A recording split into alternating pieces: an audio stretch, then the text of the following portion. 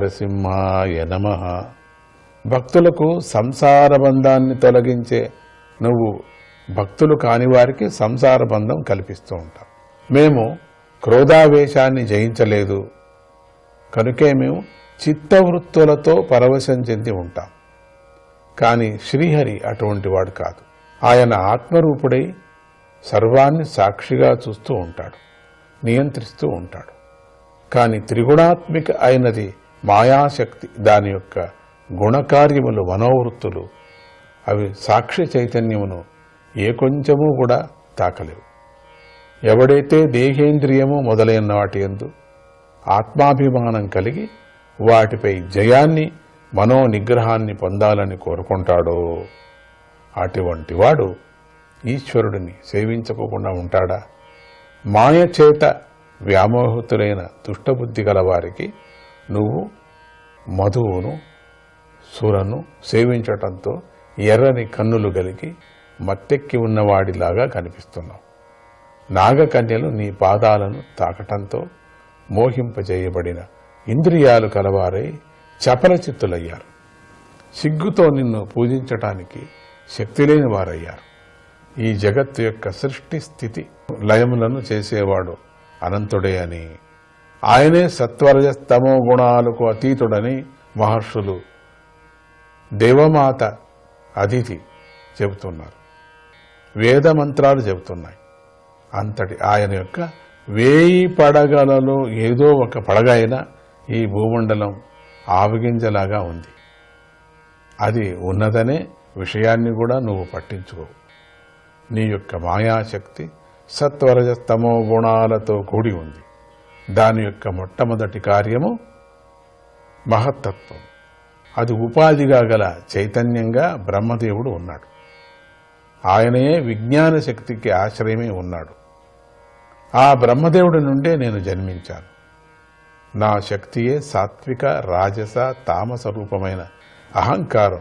నేను ఆ శక్తితో సత్వగుణ ప్రధానమైన దేవతా వర్గాన్ని రజోగుణ ప్రధానమైన ఇంద్రియ వర్గాన్ని తమోగుణ ప్రధానమైన పంచభూతాల వర్గాన్ని సృష్టిస్తున్నాను మహత్తత్వం అంటే బ్రహ్మదేవుడు నేను దేవతా వర్గము పంచభూత వర్గము ఇంద్రియ వర్గము అనే ఈ మేము సమష్టి క్రియాశక్తితో నీకు త్రాటితో కట్టవేయబడిన పక్షుల్లాగా ఉన్నాం మేమంతా. నీ అనుగ్రహంతోనే మేమందరం ఈ జగత్తును సృష్టి చేస్తున్నాం. అవిద్య నీ చేత సృష్టించబడింది. అది జీవుడికి కర్మలు అనేటువంటి గ్రంథులను కలిగించి బంధిస్తోంది కదా.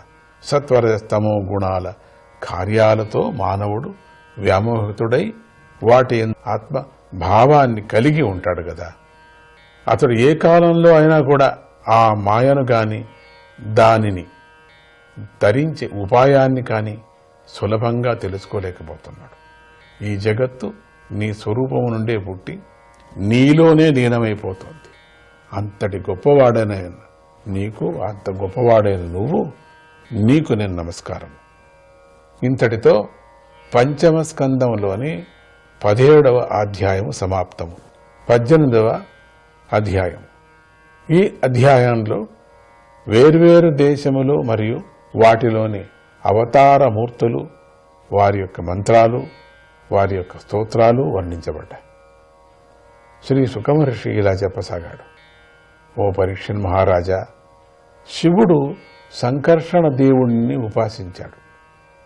అదేవిధంగా భద్రాశ్వ వర్షంలో ధర్ముడి పుత్రుడైన భద్రశ్రవసుడుని ప్రసిద్ధికెక్కినవాడు.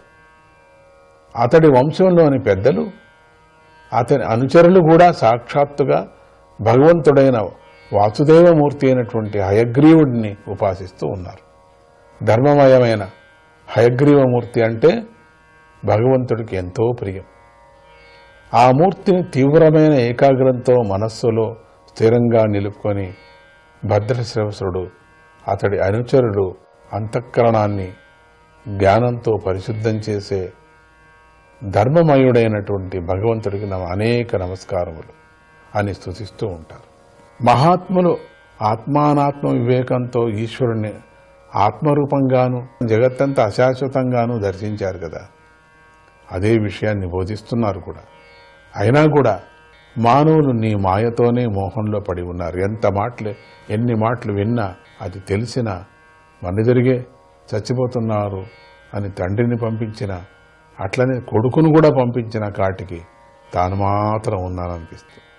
తాను మాత్రం మళ్ళీ స్నానం చేసి మళ్ళీ గుడ్డలు వేసుకొని మళ్ళీ భోంచేస్తూ హాయిగా ఉన్నాడు. ఇంత తెలిసి కూడా పరమాత్మని అర్థం చేసుకోలేక మోహంలో పడి ఉన్నారు. సుఖమే సర్వము. ఇదంతా మళ్ళీ పుట్టకం మళ్ళీ గిట్టటం ఇది చాలా సంతోషంగా ఉన్నారు ఈ చక్రంలో. పడటము చాలా సంతోషం.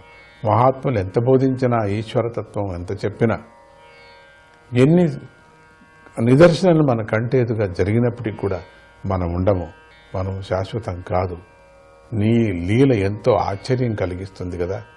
విశ్వోద్భవస్థాన నిరోధ కర్మతే హ్యకర్తురంగీ కృతమప్య పావృత. యుక్తం న చిత్రం త్వయి కార్యకారణే. సర్వాత్మని వ్యతిరిక్తే చ వస్తుత. నీకు మాయా అవరణం లేదు నీకు. కనుక నీకు కర్తృత్వం లేదు. అయినా కూడా జగత్తు యొక్క సృష్టి స్థితి లయాలనే కర్మలను చేసేది నువ్వే అని వేదాలు చెప్తున్నాయి. ఇందులో ఆశ్చర్యపడవలసింది లేనే లేదు. ఇది ముమ్మాటికి నిజం.